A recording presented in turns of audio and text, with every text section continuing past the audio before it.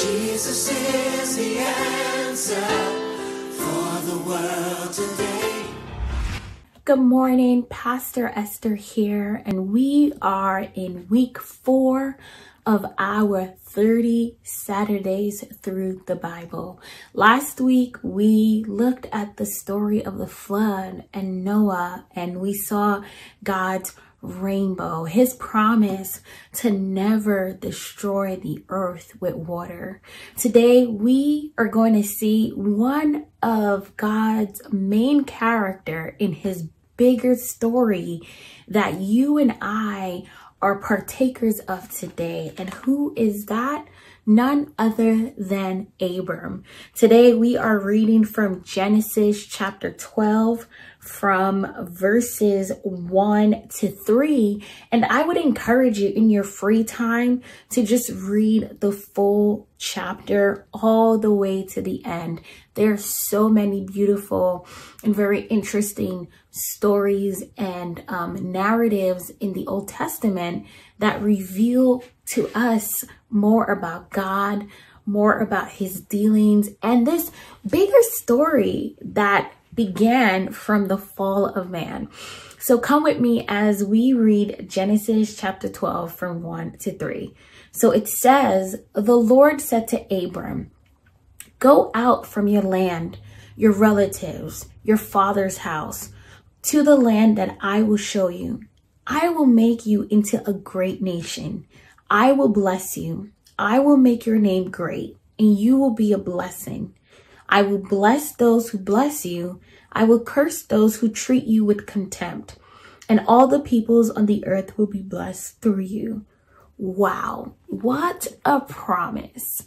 So here is Abram minding his business, doing life, and God calls him out. And God calls him out in a big way. God calls him out to move out of his comfort zone, to move out of his family relations at that time. God is asking him to go to a place where he will tell him. Can you imagine, you know, in your prayer time and the spirit of the Lord just in, in speaks to you and impresses on you and God is like, hey, I want you to get up and I want you to move. And it's like, where to? And God is like, I will show you.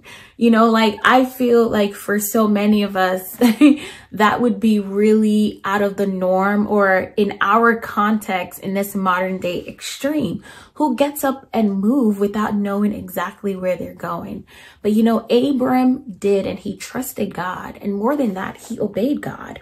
He left his uh, bigger relatives and family. He left where he knew, he left where he was comfortable, and he went following God's voice with this promise that God has given us. Um, this one act of obedience goes to set up Abraham as being pivotal to God's fulfillment of this promise that I will make you a great nation. I will bless you and I will make your name great and you will be a blessing. I will bless those who bless you. Sorry, I will bless those who bless you. I will curse those who treat you with contempt. And all the peoples on the earth will be blessed through you. You know, this latter portion of this blessing, all the peoples on earth will be blessed through you. Um, we are experiencing that today. So we see the fulfillment of this blessing in one of two ways. Number one, the descendants of Abraham are the children of Israel, um, are basically Jewish people. And the truth is that so many inventions and conventions that we experience today in the modern world has come forth because of Jewish people, innovations and breakthroughs in all areas of industry, in education, in health, in math, in leadership, in, in, in agriculture, in so many ways. Um, even in, in things like social media, believe it or not, um, this blessing is still on the children of Israel to today. God is faithful. When God gives a promise, he brings it to pass, which is amazing. And when God gives a generational promise, when we are faithful to obey him, he will sustain that promise through our generation. Now, more than these material things that we are experiencing, we have the best blessing that we could ever have. And that is in Jesus Christ, who was, um, is Jewish and was born from the lineage of Abraham. And how is the whole world blessed through him? Well, through God choosing to come in the form of man through the lineage of Abraham, salvation has been brought to the whole earth. Through Jesus Christ, we can all have eternal life and a um, fellowship and relationship with the creator of the heavens and the earth. Okay, so what's the big takeaway today as we are going through the Bible? Number one, um, oftentimes God is going to call us out. And when God calls us out, my prayer is that we can be like Abraham and to go into the unknown, just trusting God.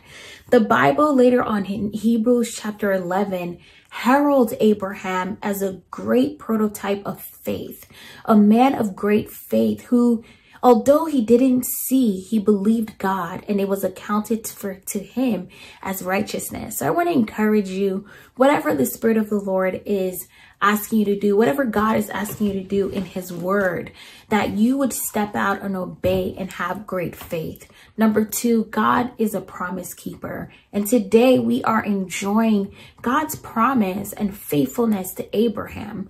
We are enjoying it in the fact that we have salvation through Jesus Christ.